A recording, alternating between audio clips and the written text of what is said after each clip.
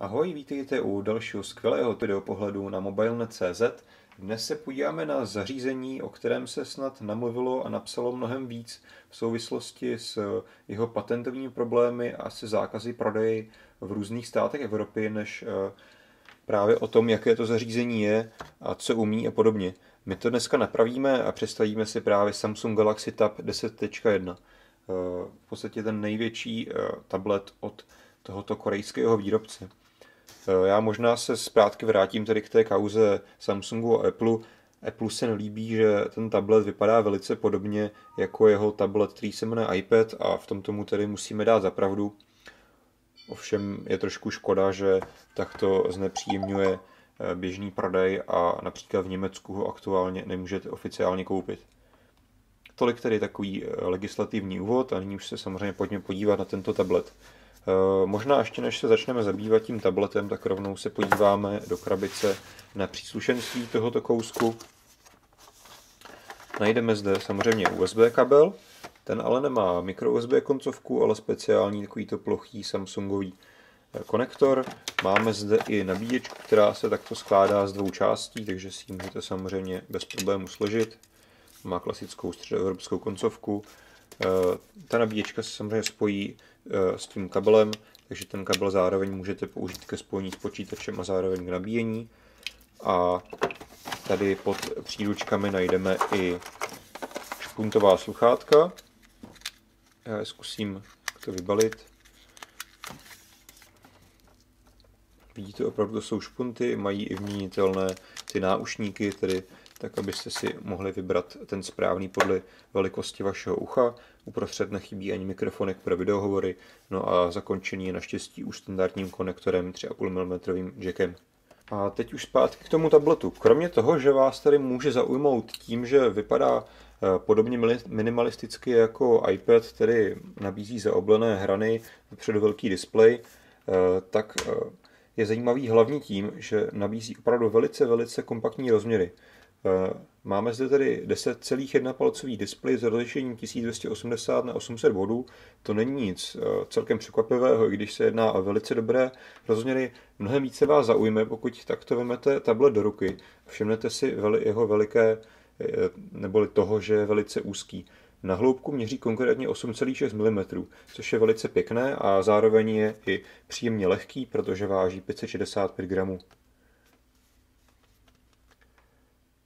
Já ho takto rozsvítím, aby jsme na něj viděli celou dobu.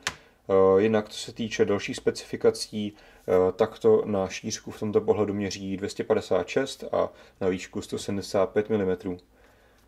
Dole máme ten už zmiňovaný konektor plochý od Samsungu. Vpravo a vlevo vidíte, najdeme pouze otvory hlasitých reproduktorů, ty jsou dva, takže zde najdeme stereo přehrávání. No a nahoře už máme celý zbytek, tlačítko pro zamykání displeje, kolébkové tlačítko pro regulaci hlasitosti, 3,5 mm jack na sluchátka a zde máme slot na SIM kartu. Samozřejmě pokud si koupíte Wi-Fi variantu, která nemá 3G modul, tak, tuto zas, eh, tak tento slot zde samozřejmě mít nebudete. Jak už vám je tedy není jasné, eh, tablet postrádá slot na microSD kartu, musíte se tedy spolehnout na vestavenou paměť tabletu, kterou můžete si vybrat buď z 16, 32 nebo 64 GB varianty. Tedy ten výběr je, myslím, dostatečně široký na to, aby si vybral každý eh, tu svou dostatečnou kapacitu. Vzadu máme velice zajímavý povrch, ten je takový pěkně měkčený, v podstatě až bych řekl skoro gumový. Není to bohužel skutečná kůže, ale je to opravdu něco plastového, ale velice pozitivní, že se to velmi pěkně a pohodlně drží v rukou, neklouže to a je to opravdu příjemné na dotek. Nahoře máme v objektiv fotoaparátu, ten má rozlišení 3 megapixely, nabízí autofokus a i přisvětlací lediodu, tedy žádná velká sláva, na druhou stranu asi úplně tablet nebudete kupovat kvůli tomu, abyste s ním pořizovali nějaké zázračné fotky. Tablet jinak pohání eh, typický eh, chipset od NVIDIA Tegra 2 s dvojádrovým GHz procesorem a k dispozici má také 1 GB RAM, tedy velice slušné vybavení, které zajistí rychlý běh veškerých aplikací a i náročnějších her. Velice zajímavé na tomto kousku je, že naproti tomu, že eh, se ten tablet opravdu vejde do takhle malých rozměrů, tak by se v něm měla skrývat 7, 7000 mAh baterie, co by mu mělo zajistit celkem dlouhou výdrž. Eh, my samozřejmě tu výdrž se pokusíme otestovat a dáme vám vědět, jak je to v reálu v psané recenzi, ve které najdete mimo jiné i toto video časem. Eh, pomalu se tady dostáváme k operačnímu systému. Eh, tu, ten v, tuto, v tomto tabletu zastává samozřejmě Android ve verzi 3.1 aktuálně a obsahuje i malou grafickou nástavbu TouchWiz, kterou Samsung obohatil tento tablet. Mně osobně by teda při, přišlo příjemnější ten klasi, to klasické prostředí, jak je hovoril Google, tedy to klasické honeycombovské, ale ani to TouchWiz od Samsungu není k zahození. Máte zde připravenou sadu speciálních widgetů, které se tady hodí do tohoto vzhledu. Má, vidíte, máme přebarvené i ty spodní ikonky, máme tady další funkce, takže se na to pojďme podrobněji podívat. Ty ikonky, jak jsem říkal, jsou přebarvené, máme tady tady šipku zpět, domeček pro úvod na úvodní obrazovku a samozřejmě nabídku multitaskingu. Ta je taková dlouhá, takže si můžete posouvat všemi naposledy používanými aplikacemi. E, novinka, kterou jsem Samsung přidal, je toto speciální tlačítko pro rychlé pořízení screenshotu aktuálního displeje. Celkem zajímavá věc, ale nemyslím si, že úplně patří na tu nejpoužívanější lištu hned vedle multitaskingu. Přeci jenom screenshoty asi nepořizujete úplně každý den na tom tabletu. Každopádně jen tak na, uh, pro poznámku. Všimli jste si, že je zde i taková šipka navíc, kterou, která vám vyvolá další mini aplikace, které se zde Samsung nabízí. Ty mini aplikace si nemůžete nějak přes, přespořádávat, protože jsou to speciálně takové, opravdu, možná bych to nazval widgety, protože se vám vždy zobrazí nad aktuální obrazovkou a vidíte, že v pozadí stále můžete pracovat s tím programem, který máte puštěný předtím a tuto aplikaci se chce přesouvat. Takže jako první zde vidíte, že jsme si pustili správce úloh, v tomto tedy rychle můžete ukončovat běžící aplikace, případně se podívat i na přehled eh, zabrané paměti RAM. Dále zde máme rychlý widget kalendáře, eh, dále se podíváme i na, vidíte, máme zde světové hodiny, můžete si všimnout, že tedy bohužel nemůžete mít otevřené dvě ty mini aplikace najednou, když se vám střídají. Jsou zde i, je zde i aplikace pro psaní poznámek, ta je velice podobná, možná i totožná s tím, co jste mohli vidět na našem videu z Berlína z výstavy IFA. V podstatě myslím si, že velice podobnou aplikaci má v sobě Galaxy Note, tedy ten tablet to mobil s 5,5 palcovým displejem.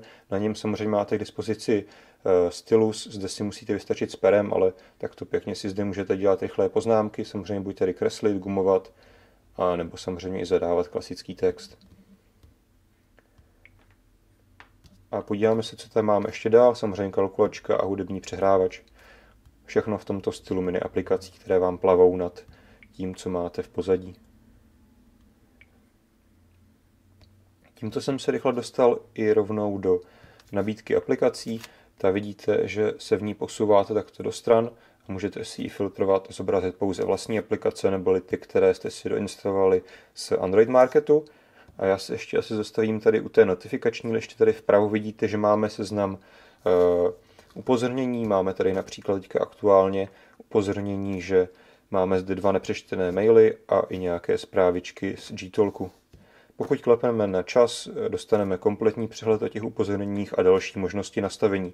Rychle můžeme regulovat například jas displeje, eh, rychle zapínat Wi-Fi a další funkce tohoto tabletu, případně se dostat do kompletního nastavení.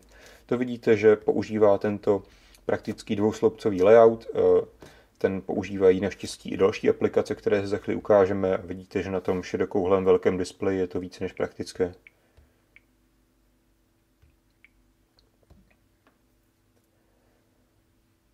Zde ještě bych možná zapomněl na rychlé vyhledávání vlevo nahoře, což samozřejmě nemůže na Google přístroj eh, chybět. Rychle se podíváme na další plochy, jaké tady máme základní widgety od Samsungu.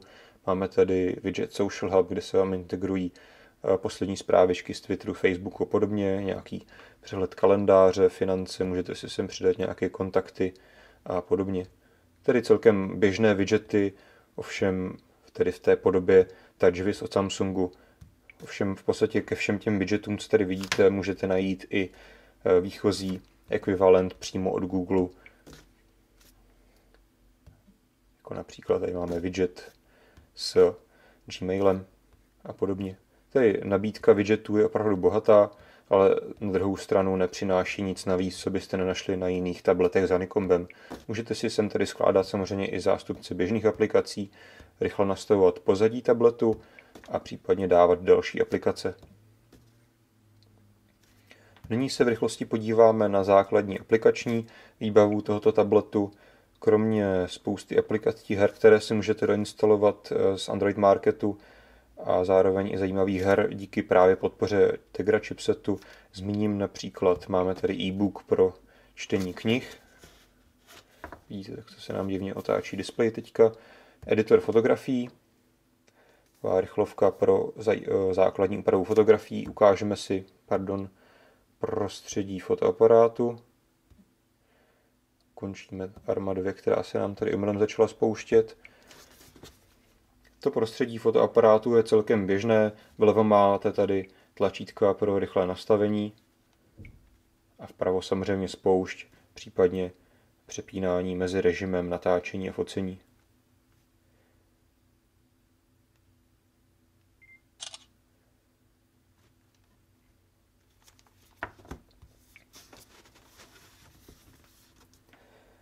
Dál se zastavím v galerii, ta už je v podstatě neupravovaná, vypadá tak jako na ostatních Honeycomb tabletech, tedy v této celkem efektně vypadající 3D animaci, kdy vidíte, že to prostředí reaguje na akcelerometr v tom přístroji a dělá tam takovéto efekty. V této galerii tedy si můžete prohlížet všechny vaše obrázky a videa, který tablet podporuje. Aplikace Gmail je velice pěkná, opět využívá ten dvousloupcový layout, takže takto pěkně si můžete číst zprávy ve velice přehledném pohledu. Hudební přehrávač je od Samsungu ovšem už tentokrát upravený. E, opět se snaží používat ten dvousloupcový layout, ale řekl bych, že na tom výchozím Honeycombu vypadá přeci jen trochu efektněji než tady od Samsungu. Každopádně nemůžeme říct, že by mu něco zásadního chybělo. Nabízí úplně standardní přehrávání hudby. Je to všechno přehledné a rychlé.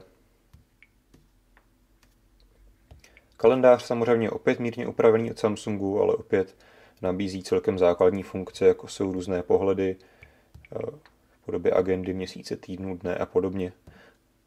Samozřejmostí je na operačním systému Android už synchronizace s vašimi online účty. Eh, z aplikací tady jsou navíc, zmíním například správce souborů, ve které můžete prohlížet eh, soubory na vašem tabletu, navigace, to je standardní součást. Polaris Office, eh, velice zajímavý bonus od Samsungu. Ten je zde v plné verzi, tedy můžete v něm například kromě prohlížení i eh, ofisové dokumenty vytvářet nebo editovat. Vidíte, že je zde podpora i těch nejnovějších 2007 formátů, tedy za to Samsung chválíme. Podíváme se i na prohlížeč velice eh, důležitou součástí dnešního tabletu. Ten vidíte, že se dost podobá svému desktopovému eh, protižku Chromu, který znáte svého, ze svého počítače možná.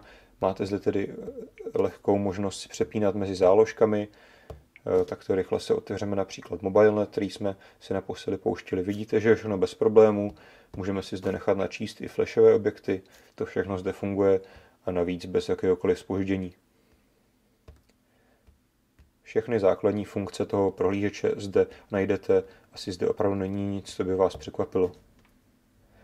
Prohlížeč je samozřejmě dostatečně rychlý, můžete tedy, jak jsem říkal, operovat ve více záložkách najednou. Ten, v tomto tedy opravdu tablet od Samsungu, případně jakýkoliv tablet s operačním systémem Android eh, je na tom velice dobře. Podíváme se dále, zde už asi nevidím nic extra zajímavého. G-Talk opět aplikace od Google, takto ve, ve dvousloupcovém layoutu, který podporuje mimo jiné i videohovory. Eh, YouTube aplikace vypadá velmi efektně na tabletech. Pokud jste ji ještě neviděli na žádném Honeycomb tabletu, tak se vám možná bude líbit takovýto pěkně 3D animovaný eh, karusel, ve kterém můžete prohlížet eh, tady nějaká navrhovaná videa. Vidíte, že je to všechno celkem rychlé, bezproblémové. Samozřejmě zde už záleží na rychlosti vašeho internetového připojení.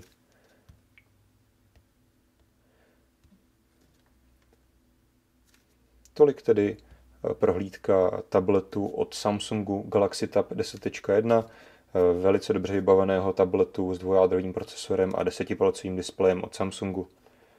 Já doufám, že se vám dnešní video pohled líbil a uvidíme se i u dalšího videopohledu na mobilnet.cz.